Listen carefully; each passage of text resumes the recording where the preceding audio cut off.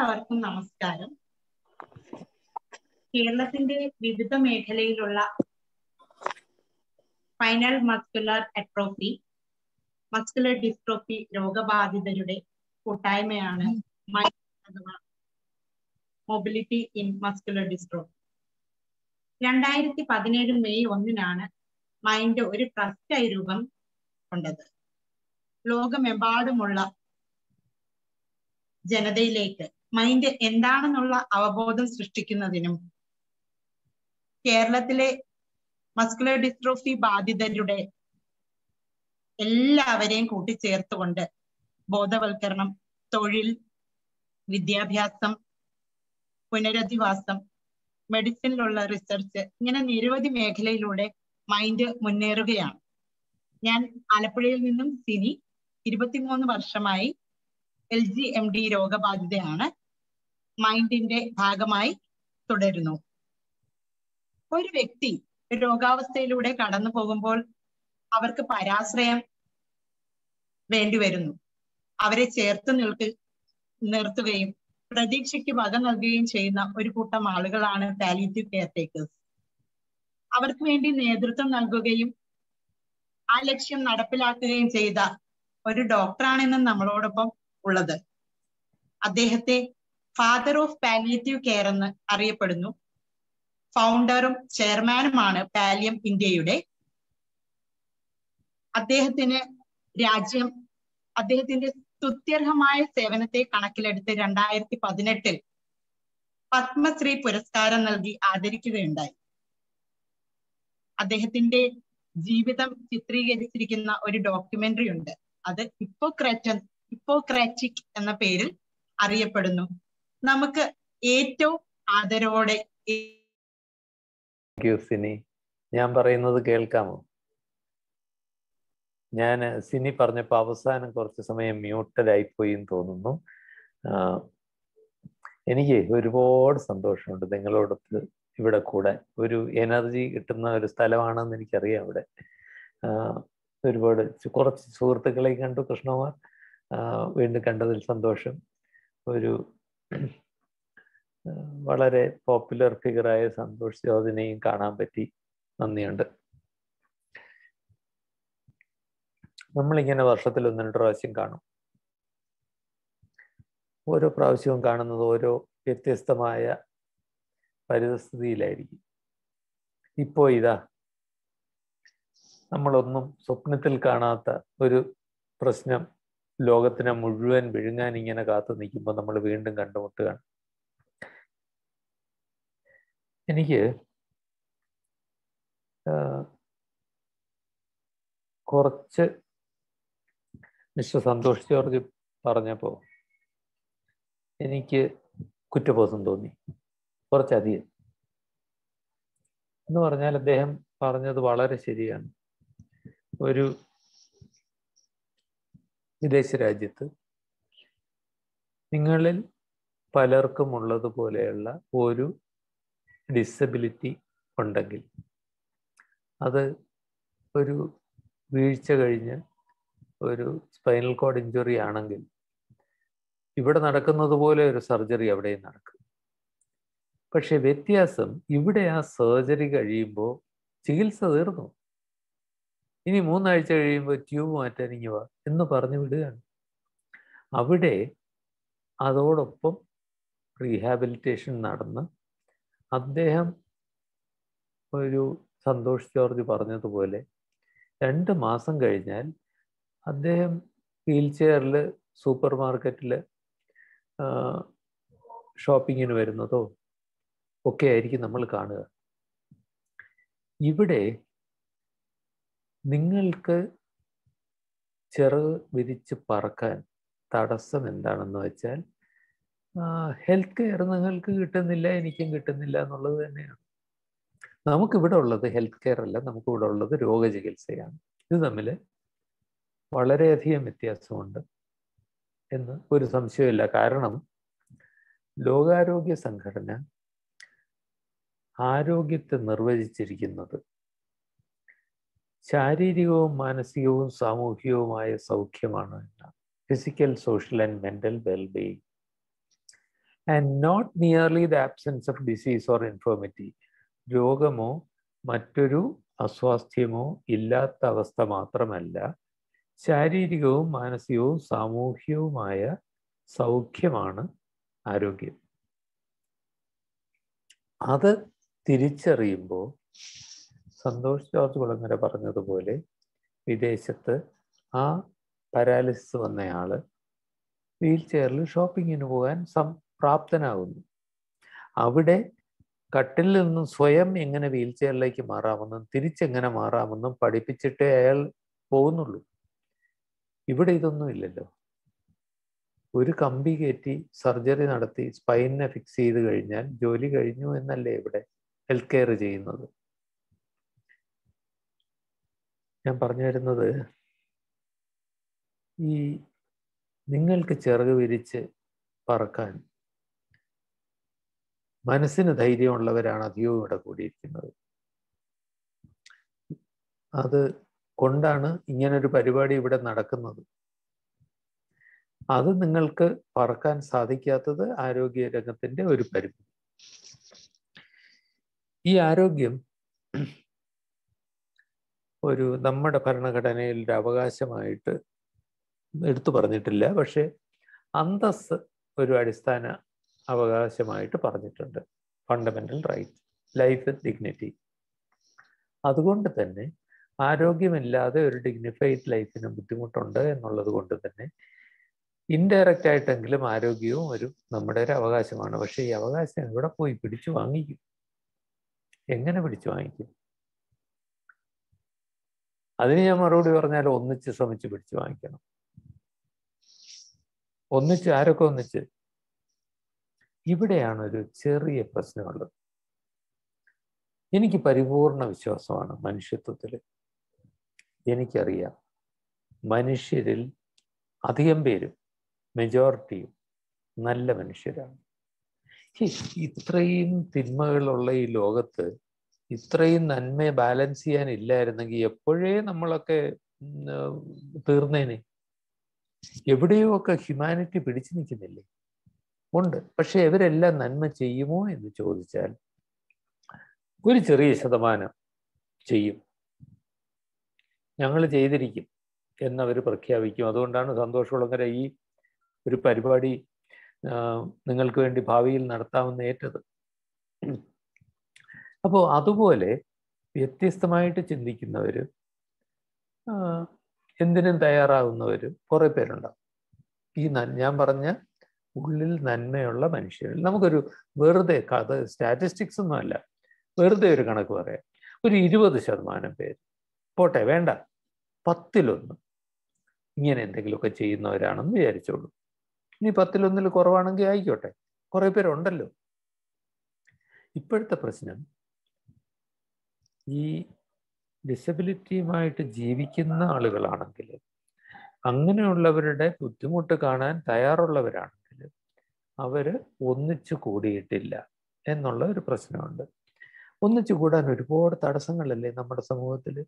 Electric wheel chair കിട്ടിയിട്ടെന്താ കാര്യം? ഒറ്റ സ്ഥലം ആക്സസിബിൾ അല്ല. ആ ഇലക്ട്രിക് വീൽ ചെയർ വെച്ച് മുറിക്കകത്ത് ഇങ്ങനെ കറങ്ങി നടക്കുകയല്ലേ പറ്റൂ പലർക്കും. അപ്പൊ അതുണ്ട്. പക്ഷെ ഇപ്പോൾ ഈ വെർച്വൽ പ്ലാറ്റ്ഫോം വന്നപ്പോഴേ നമുക്ക് ഒന്നിച്ചുകൂടാൻ എളുപ്പമായി. കോവിഡ് വന്നതുകൊണ്ട് ഒരുപാട് ബുദ്ധിമുട്ടുകൾ ഉണ്ടെങ്കിലും ചില്ലറ പ്രയോജനം വന്നത് നമുക്ക് ഇങ്ങനെയെങ്കിലും ഒത്തുകൂടാൻ പറ്റുന്നു. എനിക്ക് തോന്നുന്നത് ഈ അവസരം നമ്മൾ ആകുന്നതും കൂടുതൽ. ഇന്ത്യയിലെ എത്ര കൂടുതൽ പേരെ ഒന്നിച്ചു കൂട്ടാമോ? അത്രയും പേരെ ഒന്നിച്ചു കൂട്ടാൻ ഒരു എഫേർട്ട് വേണം. അതിപ്പോൾ ഉണ്ട് ഒരുപാട് ചെയ്യുന്നുണ്ടെന്ന് എനിക്കറിയാം. പക്ഷേ ആകുന്നിടത്തോളം ശക്തി പ്രാപിച്ചാൽ ഞാൻ എന്റെ സഹപ്രവർത്തകർക്ക് ഞാൻ കൂടെയുള്ള ഒരു എൺപത്തഞ്ച് സ്റ്റാഫ് അംഗങ്ങളായാലും നൂറുകണക്കിന് സന്നദ്ധ പ്രവർത്തകരായാലും ഒരു ഇവിടെ മുമ്പിലിരിക്കുന്ന ഒരാളിന്റെ എല്ലാ ബുദ്ധിമുട്ടും തിരിച്ചറിയാൻ കഴിഞ്ഞാലും കഴിയണമെന്ന ആഗ്രഹമുള്ളവരാണ്. കൂടെ നിൽക്കാൻ താല്പര്യമുള്ളവരാണ് നമുക്ക് ഒന്നിച്ചൊന്ന് ശബ്ദമുയർത്തണം ഈ സമയത്ത് എന്റെ ഒരു സജഷൻ ഞാൻ പറയുകയാണ്.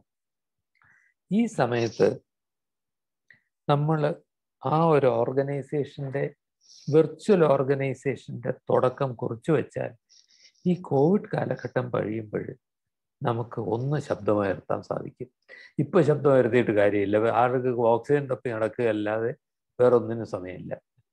ഈ കോവിഡ് വന്ന സമയം മുതൽ സർക്കാരിൽ ഒരുത്തർക്കും ഒരു കാര്യവും കേൾക്കാൻ സാവകാശമില്ല. അതൊരു റിയാലിറ്റിയാണ്.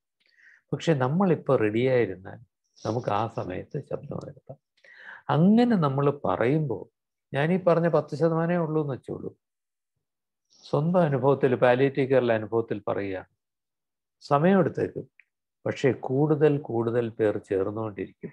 പത്ത് ശതമാനം എഴുപത് ശതമാനമാകും മുപ്പത് ശതമാനമാകും നൂറ് ശതമാനമാവില്ല പക്ഷേ നാൽപ്പത് ശതമാനം ആയാൽ തന്നെ നമ്മൾ എത്ര വലിയ ശക്തിയായി?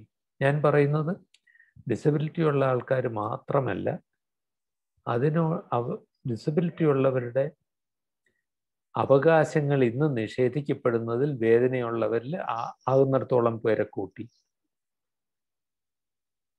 നമുക്ക് ഓരോ കാര്യങ്ങൾ ഓൺ അറ്റ് എ ടൈം നമ്മൾ പോയി എല്ലാം കൂടെ ഒന്നിച്ച് പറഞ്ഞാൽ ഒരു കാര്യവും നടക്കില്ല. അവസാനം ഈ ഫയൽ പന്ത്രണ്ട് ഡിപ്പാർട്ട്മെന്റിലായിട്ട് പോയി നടക്കും. ഇപ്പോൾ നമ്മൾ എല്ലാവരും കൂടെ ശ്രമിക്കുന്നത് എല്ലാ അപ്പാർട്ട്മെന്റ് ബിൽഡിങ്സും ആക്സസിബിൾ ആക്കാനാണെങ്കിൽ അതൊരു ആക്ടിവിറ്റി ആ ആക്ടിവിറ്റി അതിന് മാത്രം. നമ്മൾ സർക്കാർ ഓഫീസുകളിലെ ഒരു കാര്യം ചെയ്യാനാണെങ്കിൽ ഒരു ആക്ടിവിറ്റി അറ്റ് എ ടൈം. പലപ്പോഴും നമ്മൾ പല അവകാശം പറയുമ്പോൾ അവർക്ക് ഒരിടത്തുനിന്ന് വേറൊരിടത്തേക്ക് തട്ടിക്കളിക്കാൻ എളുപ്പമാണ്. ഞാൻ പഠിച്ച ഒരു കാര്യം ഗവൺമെന്റിലേക്ക് നമ്മൾ ഒരു ഡിമാൻഡ് എഴുതുന്നെങ്കിൽ ഒരു സമയം ഒരു കാര്യം മാത്രം എഴുതുക. അതുപോലെ തന്നെ വേറെ ആർക്കാണെങ്കിൽ ഒരു അവകാശം പറഞ്ഞാൽ അത് ഒന്നുകിൽ അവർക്ക് യെസ് പറയണം അല്ലെങ്കിൽ നോ പറയണം. അല്ലാതെ ഇത് അവിടുന്ന് മറ്റിടത്തോട്ട് മാറ്റാൻ വിഷമാണ് അപ്പോൾ അങ്ങനെ നമ്മൾ എല്ലാവരും കൂടി ആലോചിച്ച് നമ്മളുടെ പ്രയോറിറ്റി സെറ്റ് ചെയ്ത് അവിടെ അഭിപ്രായ വ്യത്യാസം വരും.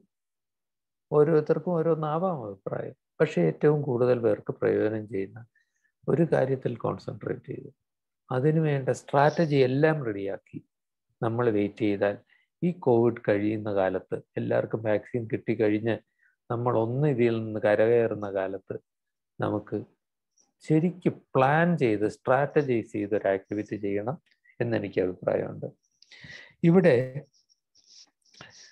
പാലിയേറ്റീവ് കെയറിന്റെ കാര്യം പറയുമ്പോൾ ഒരു ഒരു വിഷമം വരുന്നത് നമ്മൾ എന്താണ് എന്ത് കാര്യമാണെങ്കിലും തീരുമാനങ്ങളെല്ലാം എടുക്കുന്നത് പാശ്ചാത്യ രാജ്യങ്ങളല്ലേ? Developed countries fifteen percent of population നൂറ് ശതമാനം പോപ്പുലേഷന്റെ കാര്യത്തിൽ മിക്കവാറും സ്ട്രാറ്റജിക് ഡിസിഷൻസ് എല്ലാം എടുക്കുന്നത് അത് ഇൻഡിവിജ്വൽ കൺട്രിയിലെ ഡിസിഷൻസ് അല്ല ഞാൻ പറയുന്നത്? ഗ്ലോബൽ ഡിസിഷൻസ് എടുക്കുന്ന ഈ ഫിഫ്റ്റീൻ പെർസെന്റ് പോപ്പുലേഷനാണ് അവിടെ എങ്ങും പാലിയേറ്റീവ് കെയറിൽ ഡിസബിലിറ്റിയെ ഇൻക്ലൂഡ് ചെയ്തിട്ടില്ല.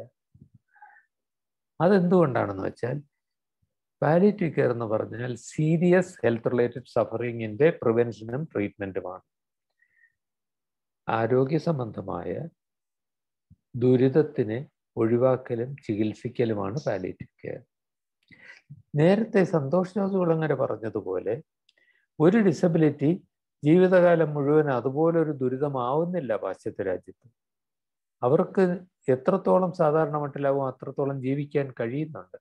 ഇവിടെ അത് കഴിയുന്നില്ലല്ലോ. അതുകൊണ്ട് പാശ്ചാത്യരോട് പാലിയേറ്റീവ് കെയർ ഡിസബിലിറ്റീസിൽ എന്ന് പറഞ്ഞാൽ മനസ്സിലാക്കാൻ അവർക്ക് വലിയ ബുദ്ധിമുട്ടാണ്. ഡിസബിലിറ്റി ഉള്ളവർക്കും കൂടെ ലോകത്ത് ഇപ്പോൾ ഏറ്റവും കൂടുതൽ അറിയപ്പെടുന്ന പാലിയേറ്റീവ് കെയർ രംഗത്ത് അറിയപ്പെടുന്ന ഒരാൾ ഒരു വ്യക്തിയുണ്ട്. ഞാനിപ്പോൾ പേര് പറയുന്നില്ല. അവർക്ക് തന്നെ പാലിയേറ്റീവ് കെയർ നമ്മൾ രോഗം വേറെ രോഗം വല്ലതും വന്ന് മരണത്തോടെ എടുക്കുമ്പോൾ മാത്രം പോരെ എന്നാണ് അവർ ചോദിക്കുന്നത്. അങ്ങനെയല്ല ഇവിടെ അതൊരു ദുരിതം തന്നെയാണ്. അതുകൊണ്ട് തന്നെ അത് ചെയ്യണം എന്നുള്ളതും കൂടെ നമ്മൾ ഉയർത്താൻ പോകുന്ന ശബ്ദത്തിന്റെ ഭാഗമാവണം. ഞാൻ നിർത്താം. ഒരു കാര്യം കൂടെ പറഞ്ഞിട്ട്.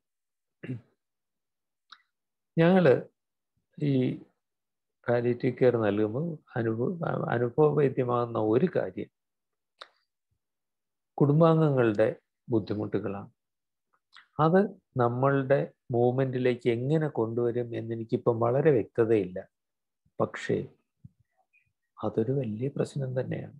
നമ്മളത് എത്രത്തോളം ചർച്ച ചെയ്യുന്നു ഇപ്പോൾ നമ്മൾ ഞാൻ ഉൾപ്പെടെ എനിക്ക് നോക്കിയാൽ എനിക്ക് വയ്യാതായി ഞാൻ കിടപ്പിലായാൽ എന്റെ പ്രശ്നം തന്നെ എനിക്ക് ഏറ്റവും വലുത്.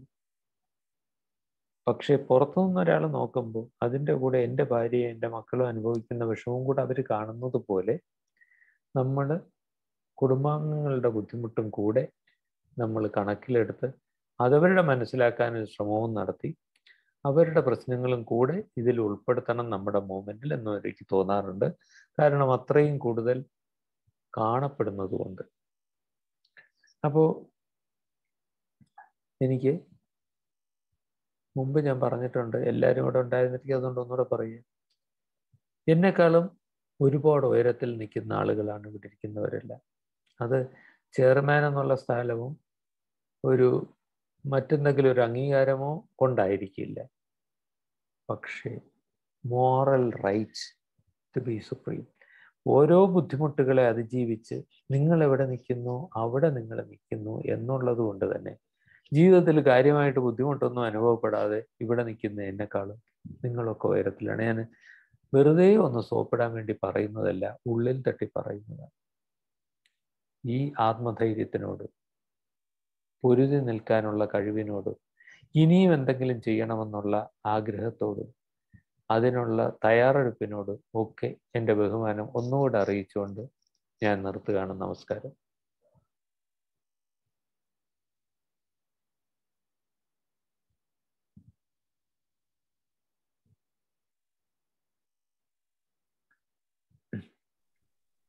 സൈൻ ലാംഗ്വേജിൽ എന്റെ പേരെന്താണ്?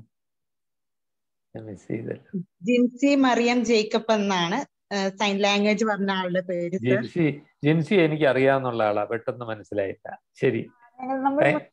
അതെ അതെ അതെ. Jincy sorry Jincy thank you very much for the interpretation ഇത്രയും നേരം ഞങ്ങളോടൊപ്പം ഇവിടെ ചേർന്നിരുന്ന ഏറ്റവും എളിമയോടെ ഞങ്ങൾ എല്ലാവരും ആത്മധൈര്യമുള്ളവരാണെന്ന് അടിവരയിട്ട് പറഞ്ഞ ഈ വലിയ മനുഷ്യന് ഡോക്ടർ പത്മശ്രീ രാജഗോപാൽ സാറിന് ഒരുപാട് നന്ദി.